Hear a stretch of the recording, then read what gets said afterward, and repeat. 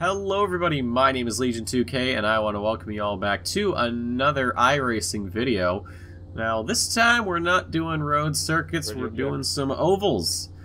So for those of you that don't know, and this is news to me and I'm probably going to get this wrong, uh, every season in iRacing is 13 weeks and this just happens to be week 13 which apparently according to my research, and there's probably going to be some iRacing veteran who's going to correct me.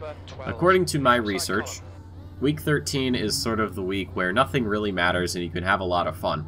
So I looked at what was available, saw some oval racing, and I said, sure, why not? So we're here at Charlotte in IndyCar uh, with the uh, pace car start. Now, one thing I did not realize until just that moment is you are not ghosted. I am very used to Assetto Corsa Competizione's, you know, rolling starts, so I'm used to ghosted cars, but unfortunately that is not going to be the case, and it's going to be a bit of a running theme in this video, although the big running theme for today's video is lack of skill and more accidental bumping and more sort of accidental bumping. Uh, basically, it's just going to be a mess. So if you're, you know, an oval racing veteran and, you know, it's all you do, you do, you know, the NASCARs and the trucks and Indy cars and dirt and all that, you're going to be cringing because this is an absolute mess. However, I will say I have not had this much fun oval racing in years.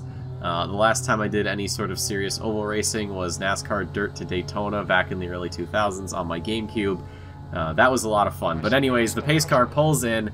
We're getting ready for the green flag to go, and there it is. I get an appalling start.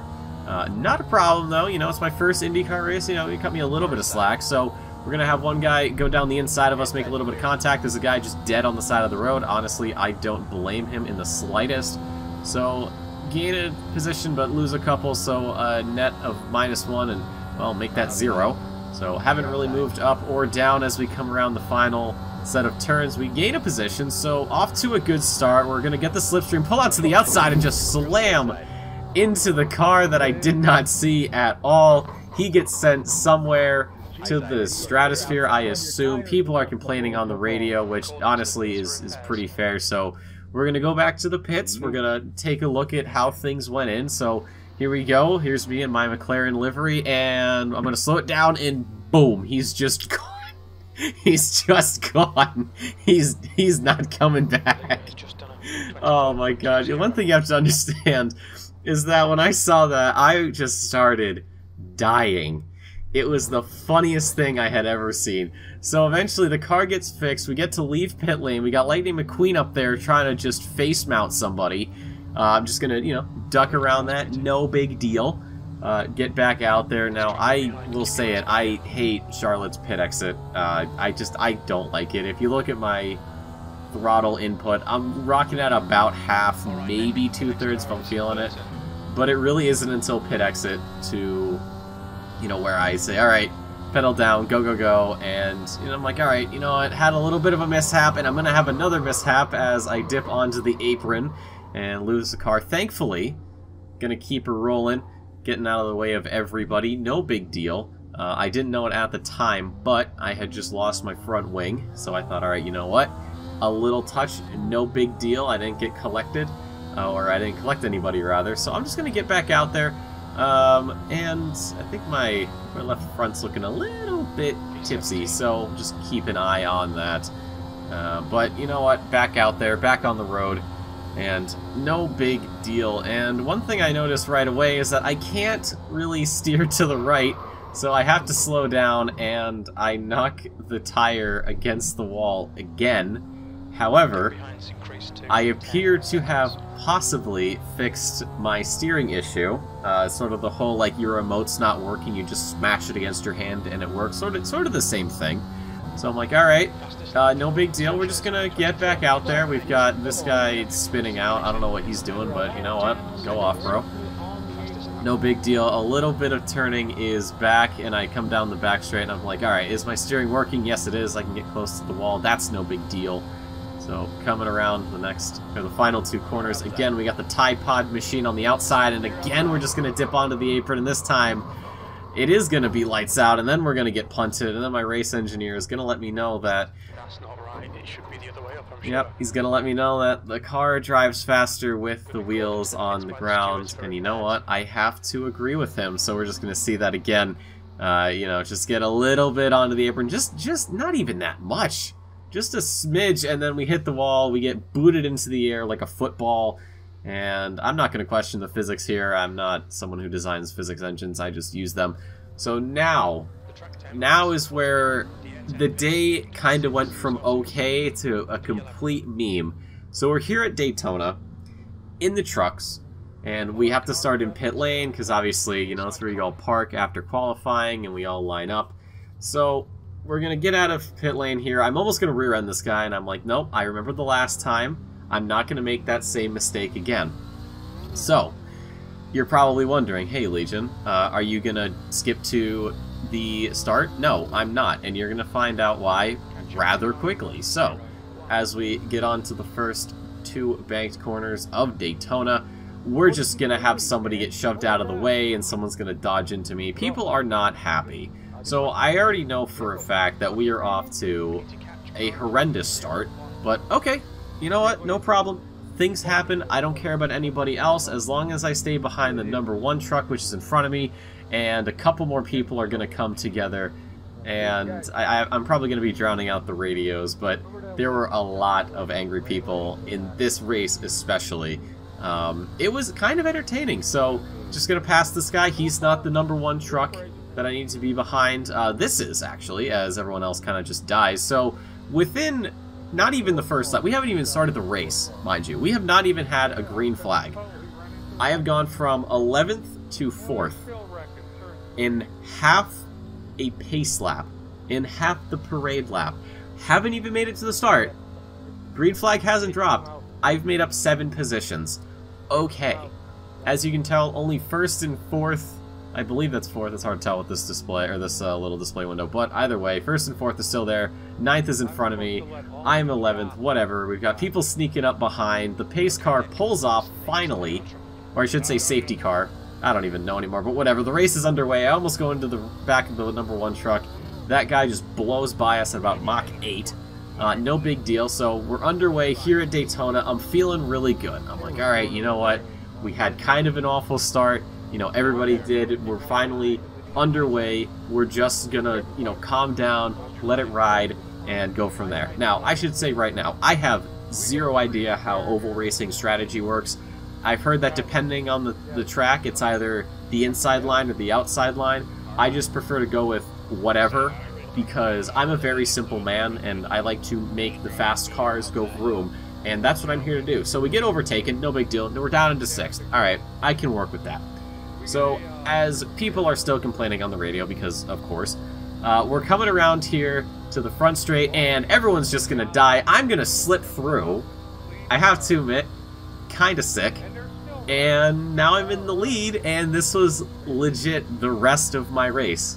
This was all I did. I sat up front, I got around a few people, and that was about it. So I get on the radio, I'm like, hey guys, great race. It certainly was something, and this was definitely a deserved win as my engineer will tell me. So, we go back to Charlotte. This is where, this is like the apex. This is the peak of my evening.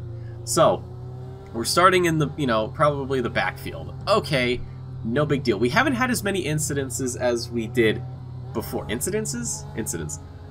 Either way, we're doing a lot better than we did last time, and that's really all that matters. Although, although, the race is going to start, and it is going to go off like you would not believe. So I'm going to call this the Napa car on the left side. He gets around us, but we get around him, no problem. There's some guy parked on the inside. He probably knows what's going to happen. So I want you to pay attention to the two cars in front of us. They are going to come together. One of them's going to go in the air. We're going to slip under. No big deal. There's a guy off on the left side. I don't know what he's doing. We got two more guys up front who are just going to murder each other. And then it's a three-peat. And then we're going to have another guy on the inside. I'm going to get around another guy back there before our little spinning friend. And now we've made up even more positions. And as we come around to the triangle, I'm to go for something that's probably a little bit on the illegal side. But again, it's week 13, so who really cares? And we're to gain a position, but also lose a position. And that guy's still parked on the inside. God bless his soul. And again, it is the all member of depravity happening at Charlotte. So, fast forwarding a little bit, we get to the back of these two guys. The the mid machine right there is going to be the point of interest. So we go down. I'm on the apron again, and I'm going to come back up and just accidentally murder this guy. You know, as you do casual things. Uh, I go over the radio. I do apologize because again, I I don't want to do that. And this guy is flipping for some reason. I'm still not certain why he is, but you know what he is, and I'm proud he's having fun. And that's basically just what the races were. Have fun. So fast forwarding again. Uh, we're on the back of the car in front.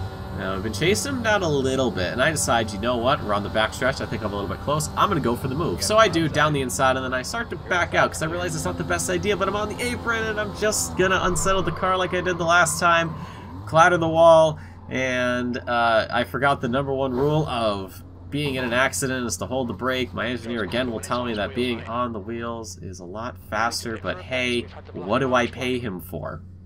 So we're going to go back to the pits, get a new car. We've got the guy in front of us just facing the wrong way, so again, that should tell you everything you need to know about the quote-unquote skill level of this here lobby.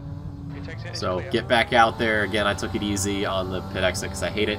So up ahead, the, the green car kind of gets nudged a bit and slows down, so we're just going to dart around. And that's the one thing I love about these, is just how fast you're going. It's insane. And we're going to come across this guy and I think accidentally kill him a little bit, but I think he actually got away with it, so we're good. And now what we're going to do here is we're actually going to speed this up because I want you to pay attention to the guy in front. Now, again, I have very, very little IndyCar slash oval racing experience because, you know, it's been a, quite a while since I've actually done anything, but I eventually catch up to him, and I'm thinking, alright, I can get around him, I've caught up to him, Let's see if we can make this work. So he's set in the slipstream. It looks like he's going to open the door on the inside, but not quite. Um, we're going to run it very close to the wall. Not enough to, you know, really write home about, but enough to definitely pay mind to. So we get on to the next lap here. We're still behind him. And I'm thinking, okay, maybe I can go for a move, but then he starts doing a little bit of weaving. I'm like, alright, fine. I guess I'll have to put it off for a little while. Unfortunately, uh, I am going to run rather close to the wall and just tag the right side tire. And you can see it's bent a little bit, and all that time I gained is now gone. But eventually, I do start reeling him in a bit. Now we're about half a second, and I'm thinking, alright, take two, let's try it again, around the same corner, and I'm just going to drift out wide again, and that's going to break the suspension it's gonna break the car, and unfortunately, this is where it is going to end for me. I do not have any more cars to work with, so as we sit here in the pit lane and contemplate what just happened over that evening, I'd like to take a moment and say thank you guys so much for watching. I hope you enjoyed your stay, and I hope you know I hope you guys are enjoying this new uh, little iRacing series. I don't know how often I'll do this, but we'll figure that out. Uh, if you enjoyed, as always, remember to like, favorite, comment, and subscribe. Follow me on Twitter. I'm on Discord and Twitch and TikTok because I'm a disgusting Gen Zer, but ladies and gentlemen, that is going to do it for me today. My name is Legion2K. I want to thank you all so much for stopping by. I'm signing off.